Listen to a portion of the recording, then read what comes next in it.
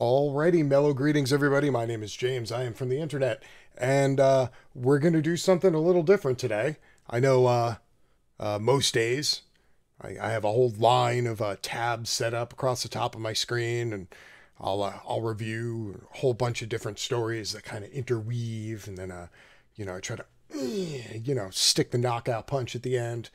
Um, but today I have one single tab and one single story.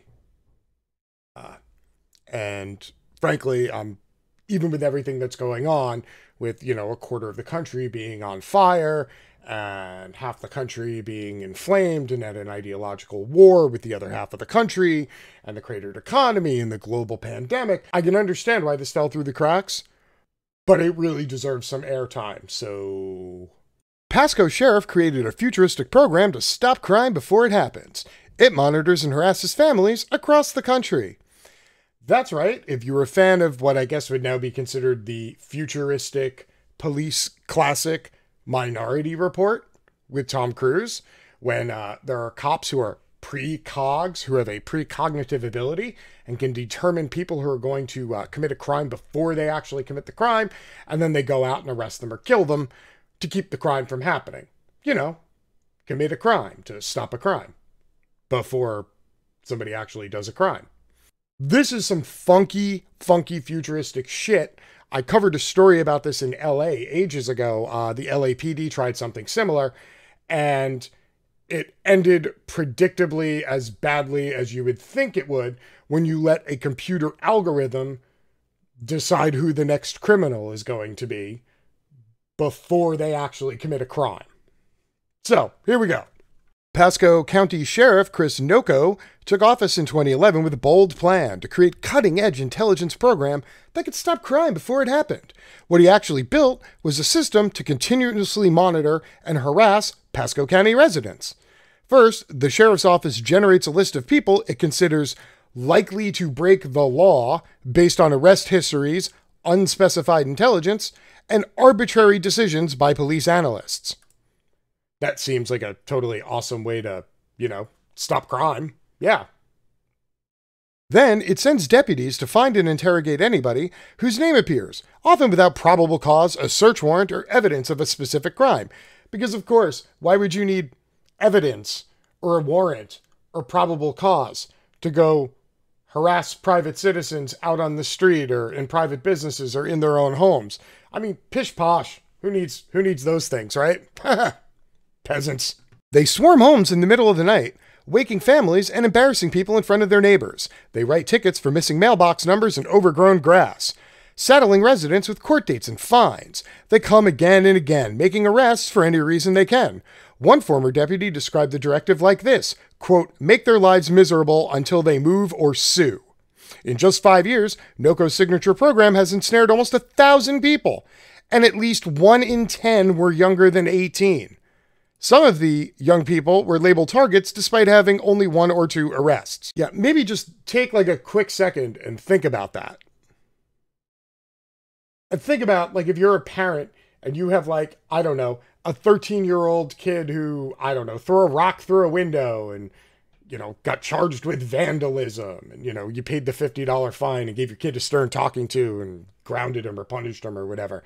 And then all of a sudden he pops up in a computer database that spits his name out as one of like the 30 people in the county most likely to commit another crime.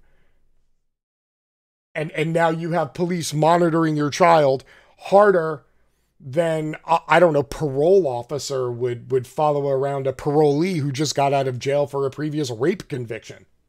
Rio Wojtecki, 15, became a target in September 2019, almost a year after he was arrested for sneaking into carports with a friend and stealing motorized bicycles. Those were the only charges against him, and he already had a state issued juvenile probation officer checking in on him. Yet, from September 2019 to January 2020, Pasco Sheriff's, Sheriff's deputies went to his home at least 21 times. 21 times in 15 months to just harass him and go, the computer tells us you might be about to commit another crime, so we're going to check in on you. Urgh. What the shit is that? They showed up at the car dealership where his mom worked, looked for him at a friend's house, and checked his gym to see if he had signed in. More than once, the deputies acknowledged that Rio wasn't getting into trouble. They mostly grilled him about his friends, according to body camera video of the interactions. But he'd been identified as a target, they said, so they had to keep checking on him. Since September 2015, the sheriff's office has sent deputies on checks like those more than 12,000 times. Yeah. Remember when people were like, hey, we really want to defund the police? I think perhaps this is why. Because police have used up hours and hours and hours of, of billable time to, to you, the taxpayer, to go to people's houses and harass them because a computer algorithm said that they might one day in the future be preparing to commit a crime. And that's a good enough reason to go and use your resources to go harass people at their homes. All right. Where, where, where are all the bootlickers in chat now? Where you at? Back the blues? Where are you? Where are you? I, I, oh, I can't hear you over the sound of the encroaching fascism in Pasco County. You're going to have to speak up. Deputies gave the mother of one teenage target a $2,500 fine because she had five chickens in her backyard. They arrested another target's father after peering through a window in his house and noticing a 17 year old friend of his son smoking a cigarette. As they make checks, deputies feed information back into the system, not just on the people they target, but on family members, friends, and anyone else in the target's orbit. That's right, if your kid gets arrested for jaywalking, or vandalism, and they end up in this computer algorithm, the cops will now start looking at you and your spouse or your partner and your parents and your cousins and your friends at work. And they're going to start digging into all of them because an algorithm is telling them at some point your kid is going to become a wanted criminal. So it's better that they know everything about him, all his associates, all his family, and all of their associates before the crime happens. Are you are you all still back in the blue? Are you all still rocking your thin blue line flag? Really? Okay. In the past two years alone, two of the nation's largest law enforcement agencies have scrapped similar programs following public outcries and reports documenting serious flaws. In Pasco, however, the initiative has expanded. Last summer, the sheriff's office announced plans to begin keeping tabs on people who've been repeatedly committed to psychiatric hospitals. Hey, because you know what totally isn't going to create a horrible incident where somebody might get injured? Sending armed goons to the home of somebody who's recently gotten out of a psychiatric hospital. Once again, when people say defund the police, this is what they're talking about. You know what works a lot better? When you send a social worker to somebody's house who's recently been in a psychiatric institute. Maybe sending somebody who has, I don't know, more than five months of training um, to their house, armed and strapped maybe, just maybe, send a normal human being who can actually have a fucking conversation with them rather than shooting their dog, getting them agitated, and then shooting them. Crazy thought, I know. Yeah, that's right. Yeah, screw social workers. We should just keep dumping more money into the predictive crime thin blue line people who want to go to your house 21 times in a year and a half to harass you after your child gets arrested once for petty larceny when they're 14 years old. In statements that spanned more than 30 pages, the agency said it stands behind its program, part of a larger initiative it calls intelligence led policing, which is hilarious because nobody has ever, ever, ever so much as inferred that the police are intelligent. It said other local departments use similar techniques and accused the Times of cherry picking examples and painting basic law enforcement functions as harassment. I don't know uh, going to somebody's house who hasn't committed a crime, who's not in the process of committing a crime, and harassing them at their parents' place of work, their gym, their friends' houses, and their own house 21 times in a little over a year does not sound like a basic law enforcement function. Please correct me if I'm wrong. It's okay, I'm not wrong. The sheriff's office said its program was designed to reduce bias in policing by using objective data and it provided statistics showing a decline in burglaries, larcenies, and auto thefts since the program began in 2011. Wow, you read that sentence, you'd think, wow, James is full of shit and he's poo pooing this thing and he shouldn't be because obviously it works. Hmm. Quote, This reduction in property crime has a direct positive impact on the lives of citizens of Pasco County, and for all that, we will not apologize, one of the statements said.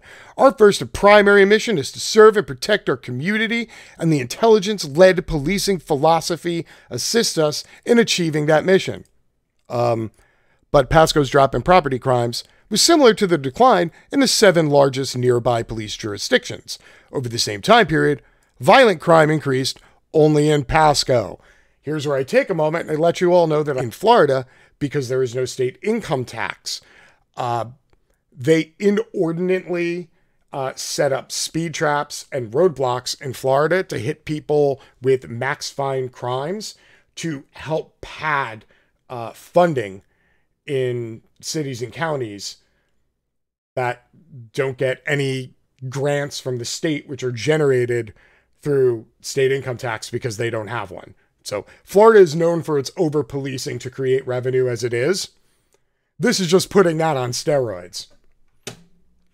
Criminal justice experts say they were stunned by the agency's practices. They compared the tactics to child abuse, mafia harassment, and surveillance that could be expected under an authoritarian regime. Quote, morally repugnant is what it is one of the worst manifestations of the intersection of junk science and bad policing, an absolute absence of common sense and humanity that I have seen in my career, said David Kennedy, a renowned criminologist at the John Jay College of Criminal Justice, whose research on crime prevention is referenced in Pasco's policies.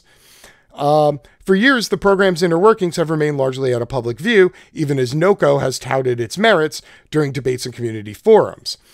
Uh, reporters combed through thousands of pages of documents, watched hours of body camera footage, and spent months obtaining and analyzing the target list, which had not been previously released. Pasco is an overwhelmingly white county, and the program did not appear to disproportionately target people based on race. But juvenile offenders, regardless of race, were an outsized priority for the intelligence program, according to former deputies. Of the 20 addresses visited most by its dedicated enforcement teams, more than half were home to middle or high schoolers who were identified as their targets. Uh, Nocco took over the Pasco Sheriff's Office in 2011, uh, appointed by Rick Scott. At the time, he was 35 and newly promoted, and he had joined the sheriff's office only two years earlier, had deep ties to Republican politics, but far less experience in law enforcement than the outgoing sheriff. He quickly rolled out a plan to remake the department that sounded like a pitch for the Hollywood blockbuster Moneyball meets Minority Report. The intent was to reduce property crime. The agency, which has 650 officers and covers roughly half a million people, would use data to predict where future crimes were likely to take place and who was likely to commit them. Then deputies would find these people and, quote, take them out. So, property crime is the trigger of this entire thing. The police had not created a super intelligent AI to go out and predict when people are going to go out and rape women or go out and kidnap children or go out and murder somebody. No, they spent all this money, time, and effort on an algorithm to protect property. Pasco Sheriff's Office won a $95,000 federal grant, not a lot of money, to upgrade its computer system and hire a small team of civilian analysts. At first, they focused on identifying geographic crime trends and gathering information from people in jail. But Nocco wanted to make proactive strategies and intelligence gathering his agency's central philosophy. All employees were required to take a two hour course on intelligence led policing. Uh, he referenced the program often as he ran for election for the first time in 2012 after he was appointed. Uh, some residents appreciated it so much, he boasted in one campaign appearance, they threw deputies a block party. Oh, thank you, government. Thank you for creating a predictive algorithm that will pick anybody out of a crowd and create police harassment. We love you so much. Woo, back the blue, thin blue line. Swallows boot. He won the race and continued building his intelligence machine. Today, the sheriff's office has a 30 person section with a $2.8 million a year budget run by a former senior counterterrorism analyst who is assigned to the National Terrorism Center. The number two is a former Army intelligence officer. 20 analysts scour police reports, property records, Facebook pages, bank statements, and surveillance photos to help deputies investigate crimes, according to the agency's latest policing manual. Since September 2015, they've also decided who goes on the list of people deemed likely to break the law. Not only is there a huge chunk of people in this country who will who will back the police no matter what they do, no matter how many people they execute in the street, shoot in the back, no matter how many people's dogs they kill, no matter how many people's daughters they stalk. People will just back them a thousand and ten percent. Doesn't matter what they do. Now the police are coming for you even if you're not committing a crime, even if you're not planning on committing a crime, even if you're not doing anything remotely illegal, the police, based on an algorithm that they created, are now giving themselves an excuse to come to your place of work, to your family's house, to your house, and harass you until they can find a crime to pin on you or until you finally give up and move. Uh, of course, if every county in America kept adopting this philosophy, there wouldn't be any place to move. So, everybody, when I tell you encroaching fascism is a big problem, it's a big fucking problem. Wake up.